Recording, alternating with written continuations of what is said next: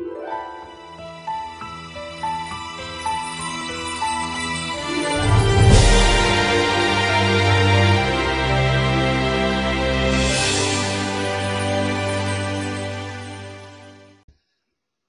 it's Doug Wolf with Town Real Estate Group, and today we're going to be bringing you the market analysis uh, from our multiple listing system, REIN, Real Estate Information Network.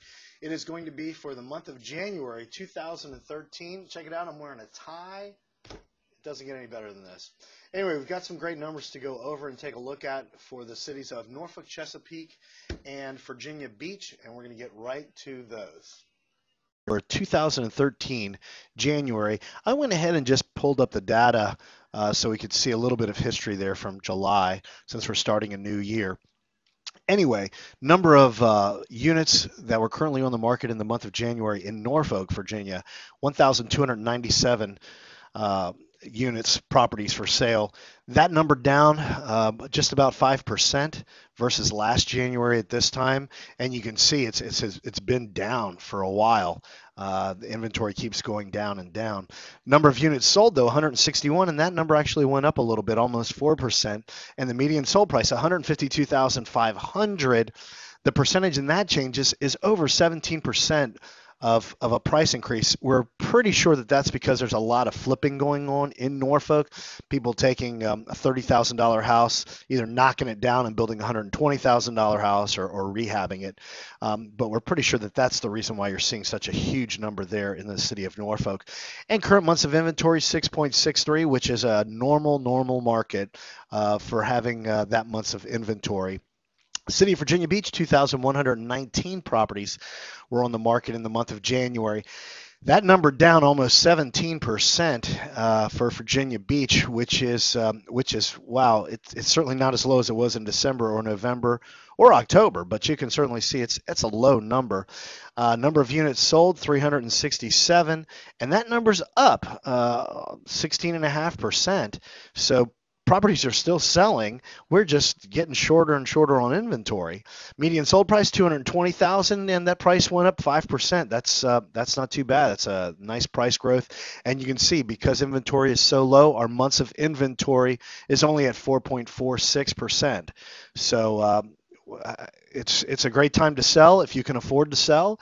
And the way to know that is to do a market analysis to determine the value of your property, uh, certainly in the city of Virginia Beach. Chesapeake, 1,376 properties uh, were on the market in Chesapeake in the month of January. That number down 19% um, over last year at this time. You can see Chesapeake's numbers are down.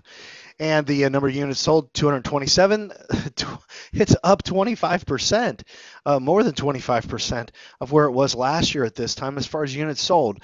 Once again, homes are selling at market value because right here, median sold price is still only 1.7% growth in median sold price. So homes are not homes are flying off the shelf at market value, and market value is still pretty much where it was last year at this time.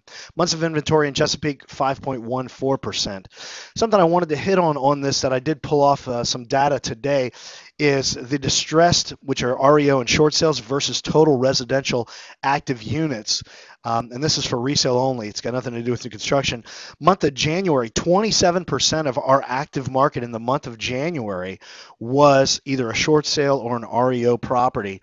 And um, I mean, we look at that. The primary reason for that is because the non REO property inventory is so low that the percentage of REO and short sales has certainly gone up.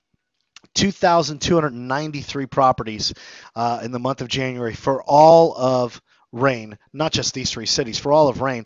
20, almost 2,300 properties were either REO or short sale. And as I said, that made up 27%. Last month, December, it was uh, 28%, and uh, November was 27%. So, right there, that last quarter of 2012 and starting this year, 2013, lots of REOs on the market in comparison to the non REOs. So, pretty much, if you're looking at houses as a buyer, probably one out of four is going to be a short sale or a foreclosed property.